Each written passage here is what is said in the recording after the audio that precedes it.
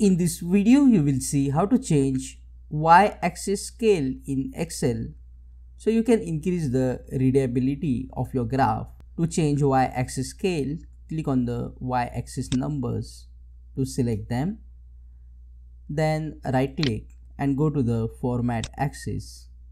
You will see this pane, format axis pane.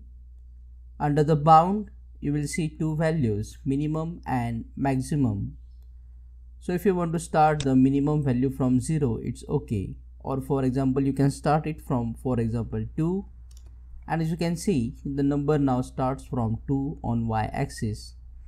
And this maximum value is the maximum value of the x-axis.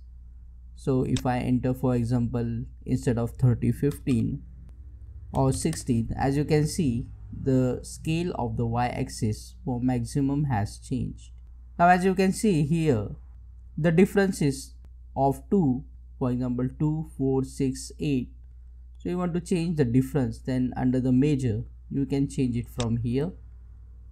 For example instead of 2 I will enter 4 and then enter on the keyboard.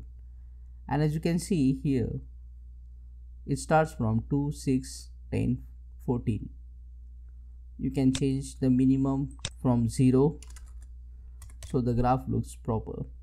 Click on that like button, comment below and let me know if this video solved your problem. And don't forget to check out these useful videos related to Excel.